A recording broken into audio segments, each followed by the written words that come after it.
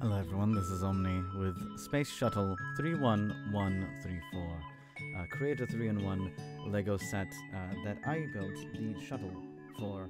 Um, so it's the main build and it's probably one of the best builds. What I really love about this build, in particular, is that there's a lot of like, there's, there's this feature that, that they included. You can actually launch off the satellite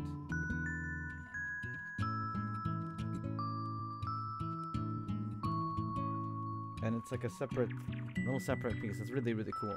Um, so I think the build was quite simple because as you can see, it's only two plate layers for the wings. There's nothing, there's nothing to that.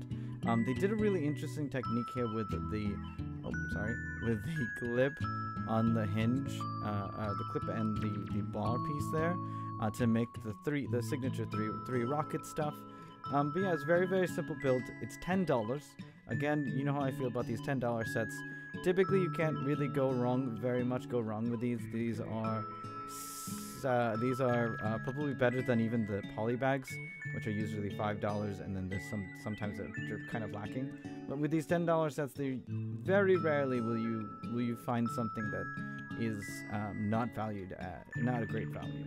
So again, it's set number 31134, the space shuttle.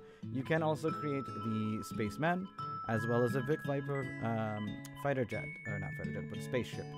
Um, anyway, folks, thanks so much for watching, and we'll see you next time. Going